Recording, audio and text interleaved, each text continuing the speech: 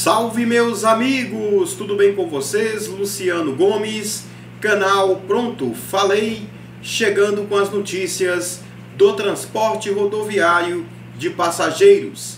Pessoal, mais uma notícia sobre a briga envolvendo Nova Itapemirim Suzantur e o Grupo Comporte. Veja bem, de acordo com o portal Diário do Transporte, o Grupo Comporte conseguiu decisão na quarta-feira, dia 25, no caso ontem, que linhas que estavam suspensas para operar fossem liberadas. Esse caso vai ser analisado pelo STJ. Então é o seguinte: as linhas estavam suspensa, tá? A justiça suspendeu essas linhas, mas ontem o grupo Comporte conseguiu reverter e esse caso ainda vai ser analisado e julgado pelo STJ. Mas já estão, ó, ok, já pode funcionar as linhas que estavam suspensas, beneficiando a nova Itapemirim Suzantur.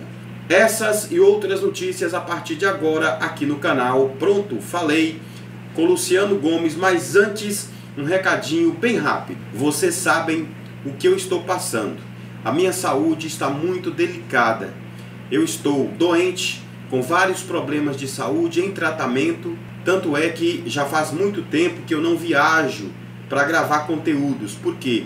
Por causa do meu problema de saúde, ou meus problemas de saúde, na verdade. Então, pessoal, deixa eu falar uma coisa com vocês aqui. Se você puder contribuir para o meu tratamento de saúde, eu vou deixar aqui na tela a minha chave Pix. Eu estou pedindo ajuda àquelas pessoas de bom coração aquelas pessoas que têm compaixão e misericórdia pelo próximo, que está em comunhão com Deus, que acredita nas palavras de Deus na Bíblia, tá? Que é ajudar sempre os mais necessitados, as pessoas que precisam.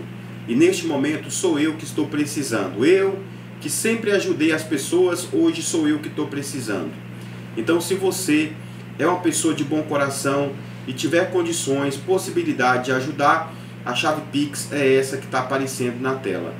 Se você não trabalha com Pix, não usa o Pix, vou deixar aqui no campo de descrição deste vídeo as contas que você pode fazer uma transferência, pode fazer, por exemplo, um depósito diretamente na casa lotérica. É o caso de duas contas, a da Caixa Econômica Federal e do Banco do Brasil, que está aí embaixo, e você pode fazer o depósito diretamente na Caixa Econômica Federal ou nas casas lotéricas ou na agência do Banco do Brasil nos caixas eletrônicos.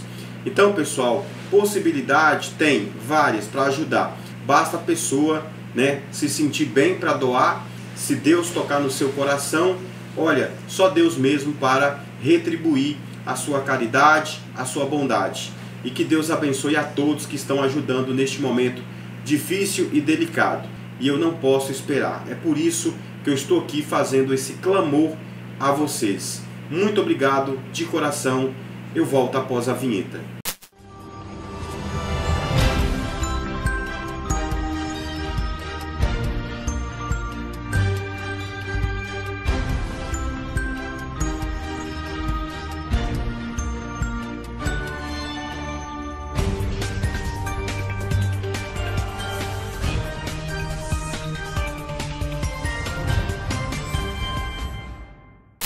Gente, mais um capítulo na novela A Briga, né? Entre Suzantur e também o Grupo Comporte. Processo para impedir circulação foi movido pela Suzantur, que opera trajetos semelhantes e alega irregularidade nas autorizações para a Penha e para a Expresso União.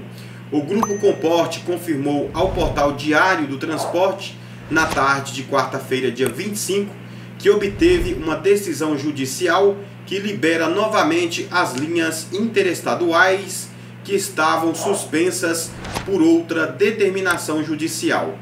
Bom, o despacho é do desembargador João Batista Moreira, presidente do Tribunal Regional Federal da Primeira Região, em decisão monocrática terminativa.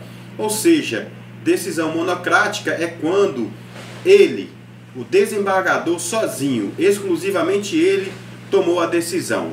Decisão monocrática é proferida por desembargadores ou ministros que compõem órgãos colegiados, mas são autorizados a decidirem sozinhos, nas hipóteses previstas em lei, como análise de pedidos urgentes.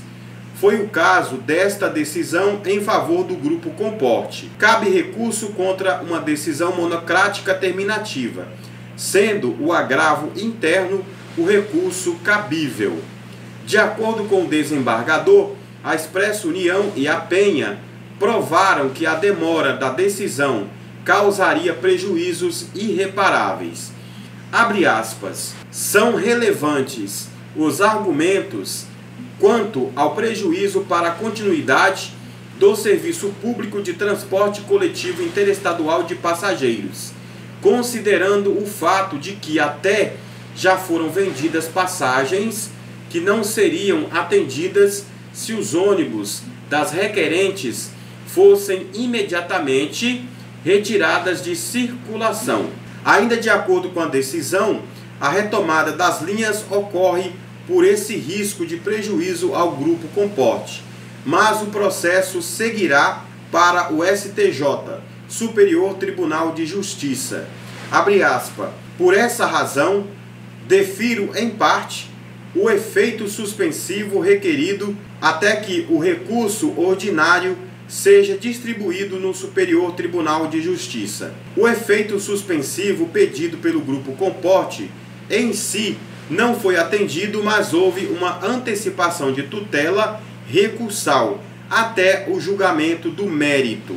Como mostrou a reportagem do portal Diário do Transporte, ônibus das empresas Expresso União e Nossa Senhora da Penha chegaram a ser retidos pela ANTT, Agência Nacional de Transportes Terrestres, lá no Tietê e também na cidade de Curitiba. Então, pessoal, por enquanto, tudo em paz. A justiça determinou a volta destas linhas que foram suspensas. Eu vou deixar aqui embaixo no campo de descrição deste vídeo a matéria completa do portal Diário do Transporte para vocês dar uma lida e verem quais são as linhas que retomam com essa decisão, essa nova decisão judicial. Por hoje é só. Meu muito obrigado a todos, muita paz, muita luz. A gente se vê por aqui. Tchau, pessoal.